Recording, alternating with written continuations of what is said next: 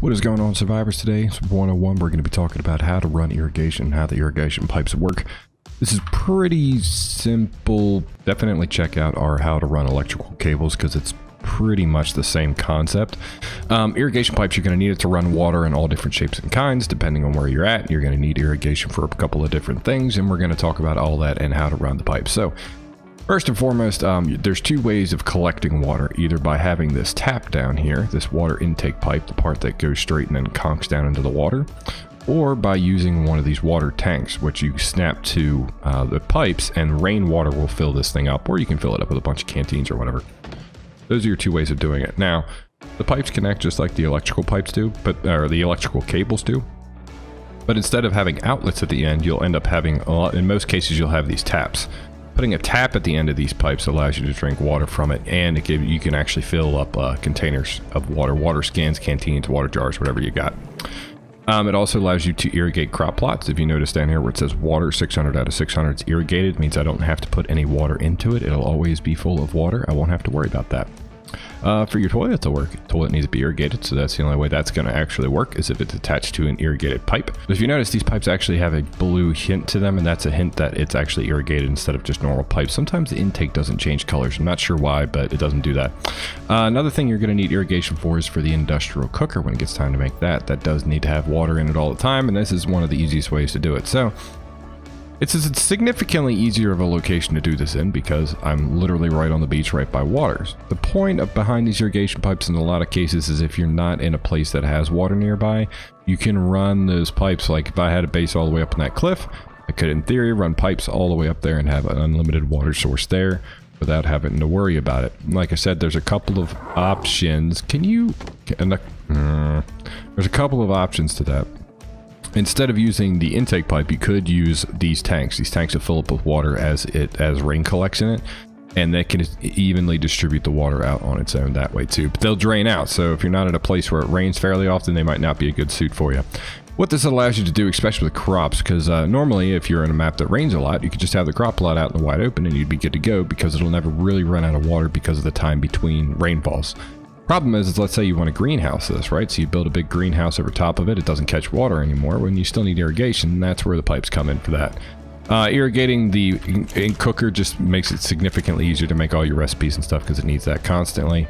And the toilet, because of the XP bonus, will actually be pretty useful as well. And obviously having a source to drink water out of all the time um, and this will be used for a couple of other things. Say if you have Plant X running around your base or something like that, th this is definitely suitable for all that. So I have a couple, I have stone. So there's two different flavors of this irrigation pipe stuff. You can have the metal stuff and the stone stuff. And I'm going to go over here and mess around with the stone stuff so that you can see it.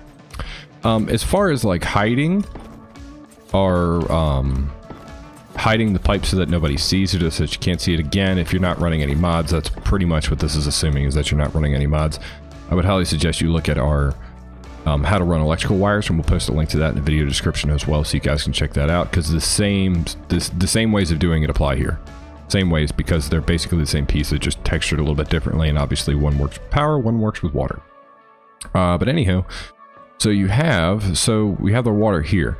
So a thing that I've always tried to note is when you're building a base, and usually you have the base built or some sort of template built before you start running water to it, don't build from the water to your base. Build from the base to your water. And I know that might sound a little crazy, but it's going to help you out in the long run.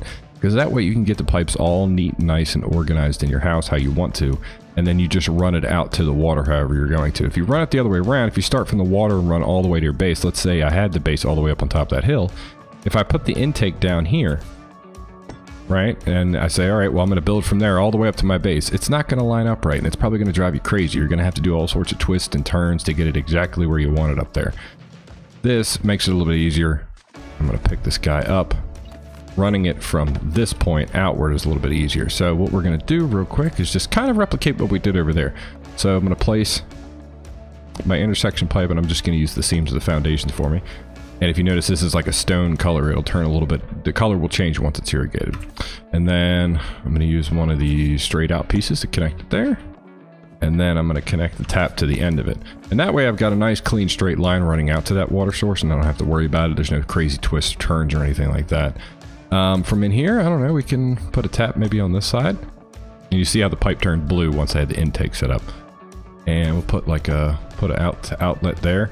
The outlet looks a little bit different if you're stone versus metal. Obviously, certain critters can hurt the metal uh, stone pipes, but a lot of them can't hurt the metal pipes. So I would say if you can upgrade to metal, definitely do it, just in case. Especially if you're running quite a lot of pipe, you know? Like one creature might accidentally, something might happen to break one of these pieces, and while it might not matter while I'm here, because there's only so many pieces it could be, if you're running the pipe a really long ways, you'd have to go check every little piece of that to find out where the pipe broke. That can be super annoying. Anywho, let's do this. Um, so we can run our pipes out and we can still do like our reservoir. We can still tap that on there as well. And it's a pretty simple process once you get that done. But, but again, I highly suggest you start building um, from your base. Get all that laid out and then build out to the water. It's going to save you a monumental amount of work. But irrigation, it's a pretty simple concept, especially if you watch our electrical cable video. It, it, the, the method is pretty much the same. There's not too many differences. And if you're trying to hide the pipes, hiding the pipes is pretty much the same way. Now I kind of place these on the seam so I could place fence foundations or walls or over top of them just like you normally would to hide them if you wanted to. But you could also lay all this down ahead of time and then build your foundation on top of it. They have the same flexible pieces where you can get this flexible piece to kind of cater to wherever. So if you do make a mistake, you can use this to kind of correct yourself. This also helps if you built the if you build all the pipes down, then you put the foundations on top of the pipes.